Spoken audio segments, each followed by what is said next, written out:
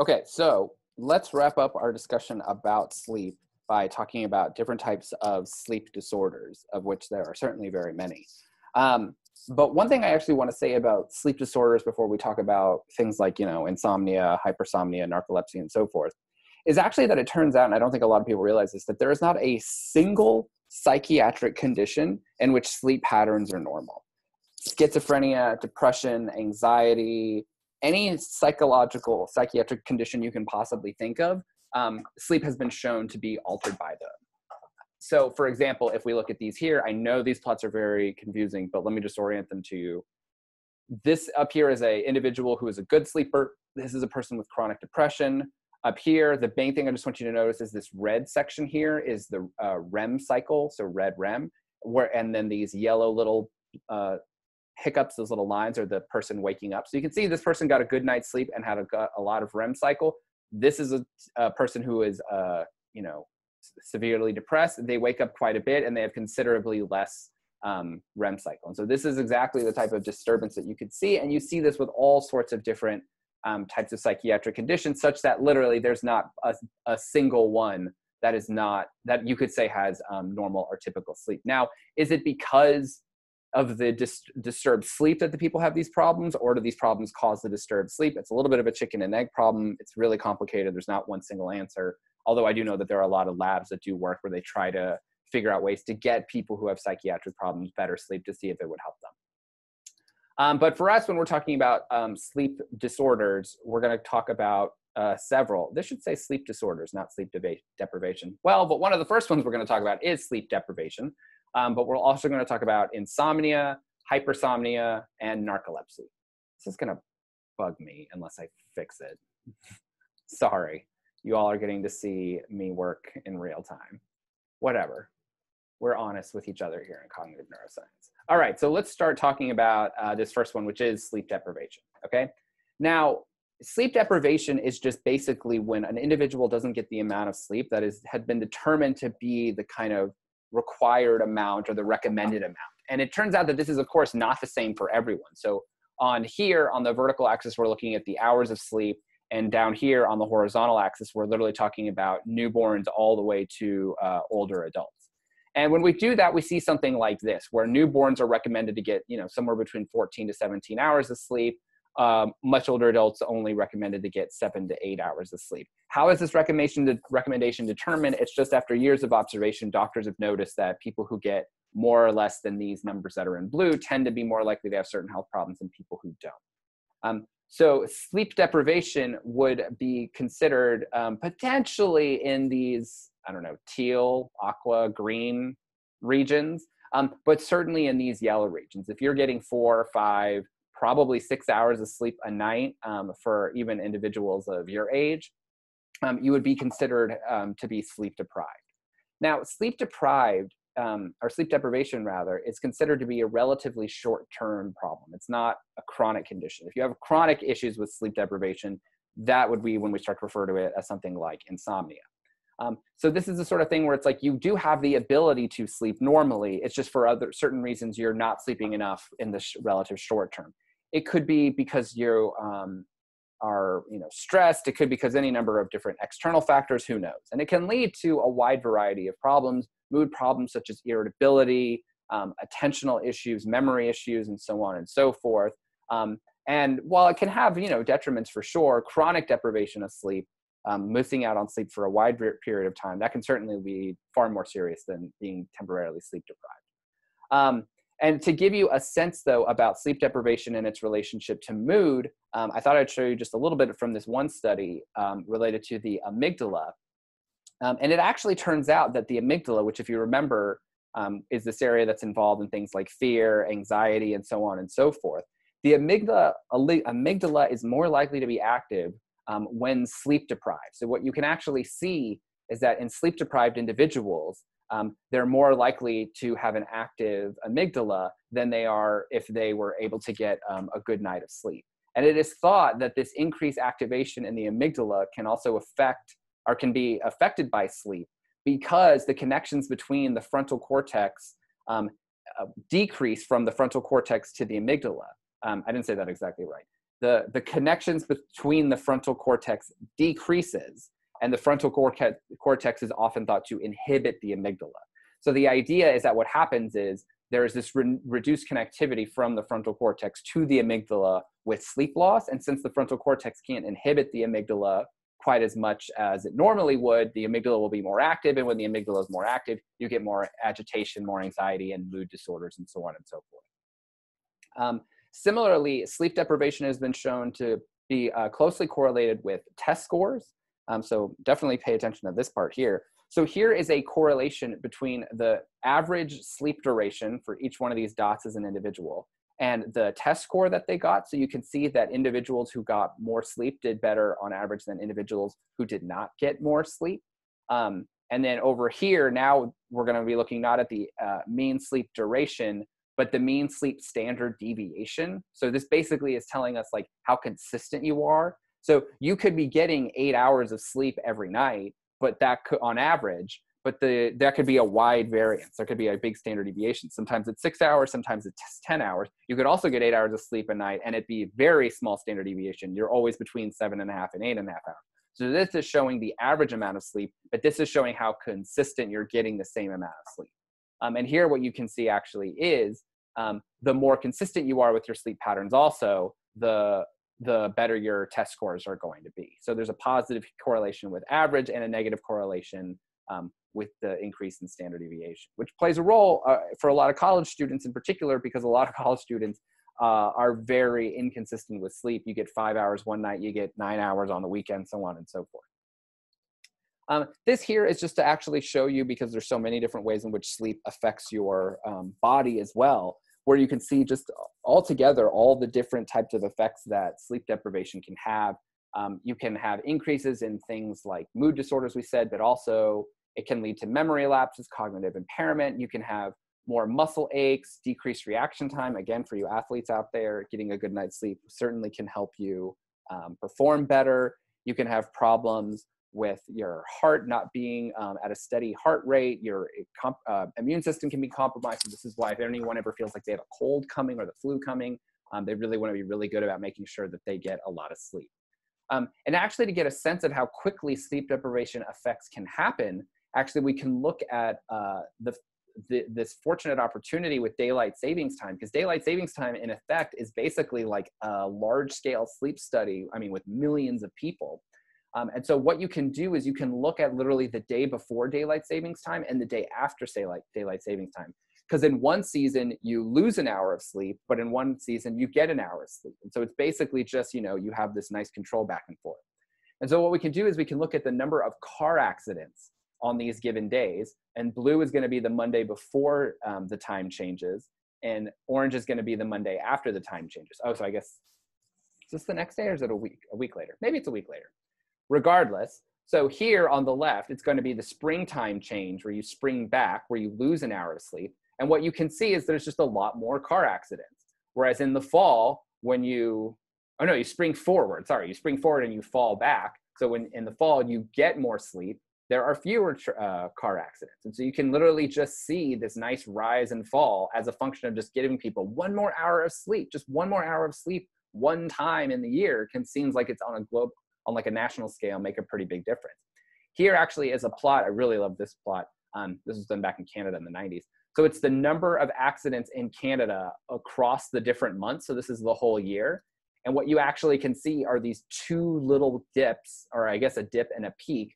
One is when an hour is lost. You can see there's more this uptick in traffic accidents, and then another is when there's an hour gain, there's a decrease in accidents. And so even just one hour, one time for daylight savings time can have this effect. But in addition, for daylight savings times, besides car accidents, there's a lot of other things. It actually turns out that there are 24% more heart attacks after spring daylight savings time when an hour is lost. So you lose an hour of sleep, put some strain on your heart, there's more likely to have a heart attack. Um, whereas there are 21% fewer heart attacks after the fall daylight savings time when an hour is gained. Um, so even though it might seem like not a big deal to lose an hour or two here or there, it can definitely um, play a big role.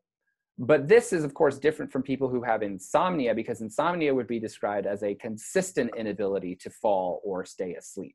Um, people with insomnia have trouble falling asleep initially, and they have problems falling back to sleep whenever they wake up. They might get 30 minutes, but then they're they wake up in the middle of the night for whatever reason. They're not able to go back to sleep for hours.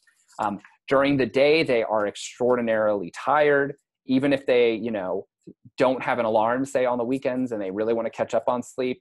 Um, and you know they're hoping to sleep to 8 9 10 in the morning they'll still wake up too early um, and then, like I already said, they'll wake up, you know, multiple times, often in the middle of the night. Now, insomnia, unfortunately, can come from many different um, factors or many different things that can, or there's many different things that can cause insomnia. So, for example, it can be caused by mental health problems, stress. If you have chronic pain, of course, it's really hard to sleep if you have chronic pain. There's a lot of associations between substance abuse, alcohol, um, and other types of drugs and insomnia, thyroid problems, sleep apnea, and so on and so forth. And unfortunately, insomnia is usually very hard to treat, and there are not that many um, medicines or that many drugs that are actually helpful. Um, there are some cases, though, actually, though, where um, there's medicines that can help. Um, specifically, when insomnia is caused by a deficient um, GABA system. So, just to remind you, GABA is a neurotransmitter, and we talked about it uh, weeks and weeks ago, for example, when we talked about um, alcohol and how what alcohol does is that ethanol will um, uh, help the GABA system uh, work because what GABA does is GABA inhibits neurons, which in, is a fancy way of saying it prevents them from firing. And what alcohol will do is it will amplify these uh, inhibitory effects such that when you're sober, you can see your brain is firing on all cylinders. Whereas when you're intoxicated, your brain activation dro- drops quite a bit. Um, and so sometimes with insomnia and GABA, GABA, the GABA system isn't doing its job and it's not inhibiting the brain enough to put you to sleep. So if basically your GABA system isn't put like inhibiting your brain to get you down for the night, there will be drugs that will kind of just help the GABA system inhibit the brain. Alcohol kind of does that because yeah, can alcohol can help you fall asleep, but alcohol has a lot of other elements to it that help you that prevent you from staying asleep. So for example, the sugar that are in a lot of alcoholic beverages, once it gets processed a few hours later in the night, that can kind of give you a second jolt so you don't sleep as well. Um, also, it can dehydrate you, it's a diuretic, so on and so forth. Speaking of hydration, a sip of water. So, there are certain uh, drugs, for example, benzodiazepines, um, which are themselves GABA agonists, and what they are intended to do is increase the effects of GABA. So, here, this is a GABA receptor that's not working very well. And so there's not a ton of chloride getting in, and chloride actually is uh, the ion that uh, helps inhibit the neuron itself.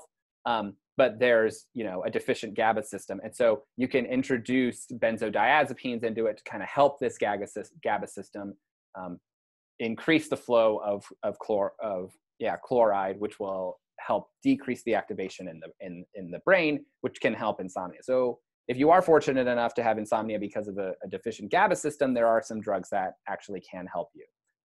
Um, one thing I want to say though about the extreme cases of insomnia is this condition called fatal familial insomnia. It is a it is a terrible, terrible disorder. If I ever heard that one of you all, for example, got fatal familial fatal familial insomnia, my heart would immediately break because your prognosis is terrible. Um, and it is largely thought to be caused by plaque building up in the thalamus um, and actually, plaque building up in the thalamus or in the brain can cause a lot of different types of problems. It actually causes mad cow disease. You all might be too young to really remember what mad cow disease is. When we talk about Alzheimer's, again, it's often thought that Alzheimer's is linked to plaque building up. This plaque building up in the thalamus is basically like gunk in the engine in the system that prevents the neurons from firing um, accordingly. And once you get diagnosed with fatal familial insomnia, and once it's onset, um, your life expectancy is between seven and 36 months. So if you're lucky, you'll have about three years left. Um, fortunately, there are only about 30 families in the world that have it, and it is a genetic disorder. So, for example, like if my one of my parents had it and they had me, I would be walking my whole life being like, yeah, there might be a time later in my life where my fatal familial insomnia will kick in and you know i will likely die a little bit. And so actually i know that there's like specials you can watch on youtube where it's videos of the family members the children in particular getting interviewed talking about you know kind of like walking around with this like sword hanging over your head because you never know if it's going to drop. Um, sleeping pills interestingly for people who have fatal familial insomnia you would think oh if these people have really bad insomnia and can't go to sleep and then eventually just pass away give them sleeping pills. The sleeping pills actually don't um, help it um, they don't it doesn't help them fall asleep and in reality it actually ends up shortening their life expectancy um, and it gets to a point it's really rather tragic because you have people who are just completely delusional they're totally exhausted they can't sleep at all they're losing weight very quickly they become demented um, they become mute and so on and so forth um, and so here is just a short video of a guy um, who you can see is in the midst of fatal familial insomnia. And you can get a sense of what I mean about how when you lose um, the ability to fall asleep, your mind quickly goes as well.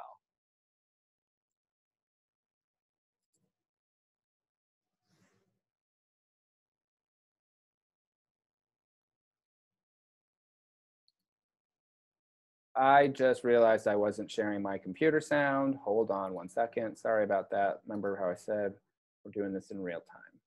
Try that one more time. Sharing computers. All right, now let's try. Sorry about that.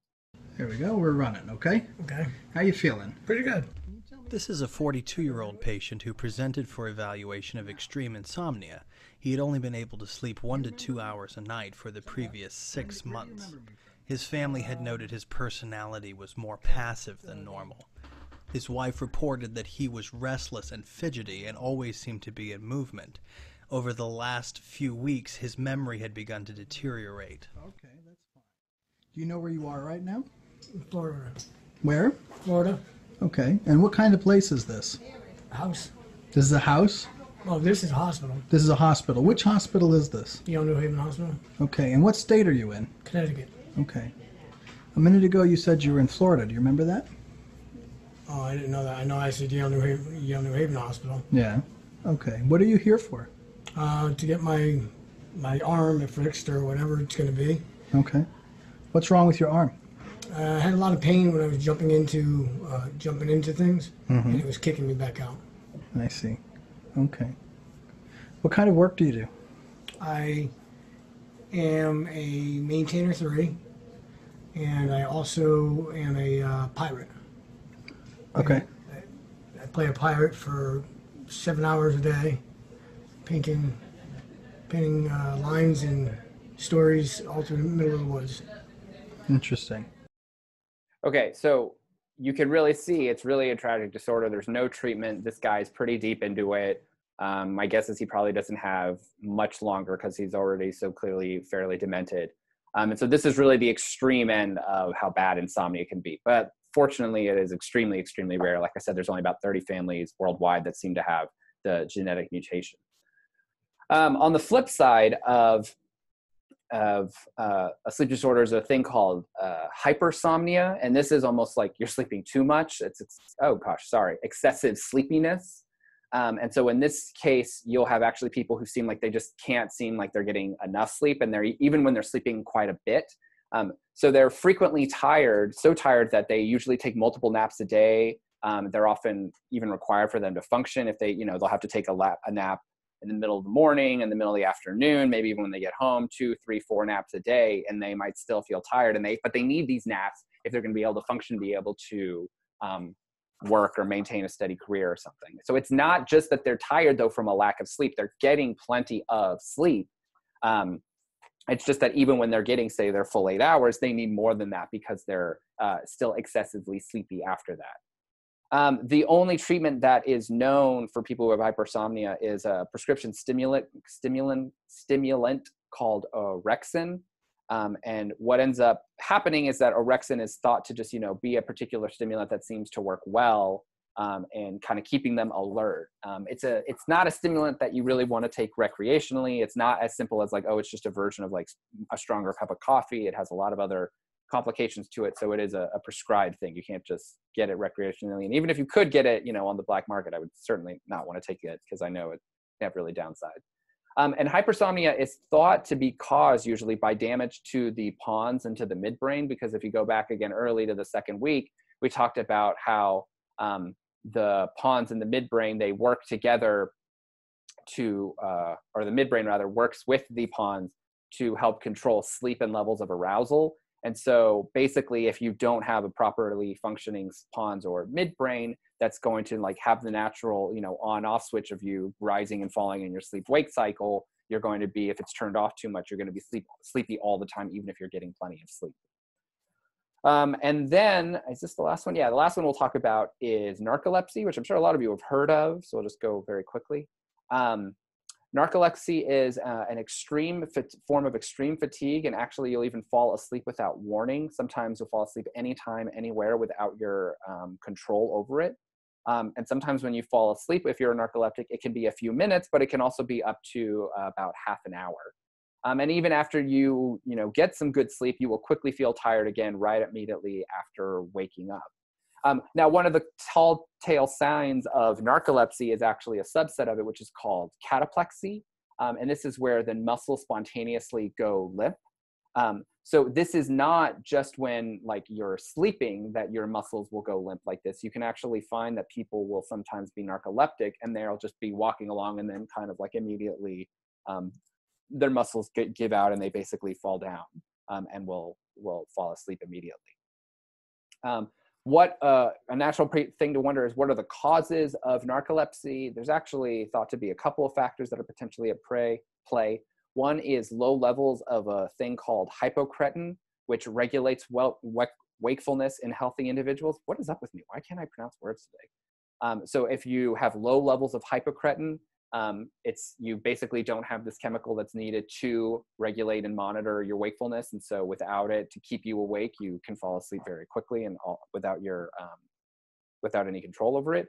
Also you can have situations this is i mean i guess not also but usually these low levels of hypocretin can occur because of an autoimmune disorders that can attack the hypocretin producing cells and so it's actually sometimes this autoimmune disorder will be leading to these particular sleep and narcoleptic problems um, and then also there are sometimes where it can be um, a genetic thing. There's a family history. It does run in, in the family sometimes, sometimes pretty rarely though. Um, I've heard it can come from brain damage to certain parts of the pons and midbrain and regions like that, but I think that's um, pretty, pretty darn rare. Um, and the last thing I thought we would do when talking about sleep is end with some tips about falling asleep because these are just tips that I've kind of vetted as being, you know, pretty scientifically valid. Um, so, for example, here are 10 tips for uh, getting a better sleep. One, like we've talked about a little bit, is a consistent daily schedule. So it's better to sleep, you know, the same amount of day to hours, the same amount of time every day. That'll help you fall asleep and stay asleep better. Um, redu- reduction of caffeine intake. God knows I am not always good about this, and I drink coffee a little too late at night.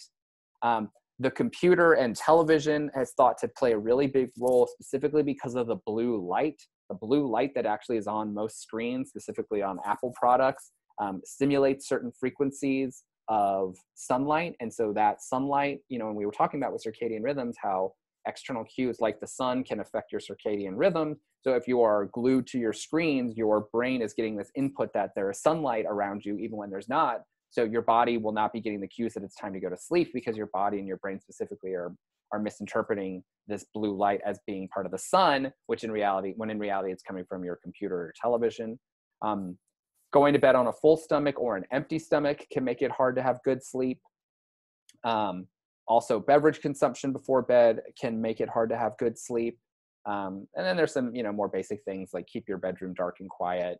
Um, and then I love this: invest in a uh, comfortable mattress and pillow and bedding. Make sure you're not, you know, in a weird position um, and then go to sleep uh, and wake up using your internal alarm clock if you have the luxury of you know being able to fall asleep naturally um, and waking up at a natural hour to function. That's up you know the best way to do it. You'll be the most rested and energetic uh, if you're anything like most people though you need to set alarm to get to class and stuff.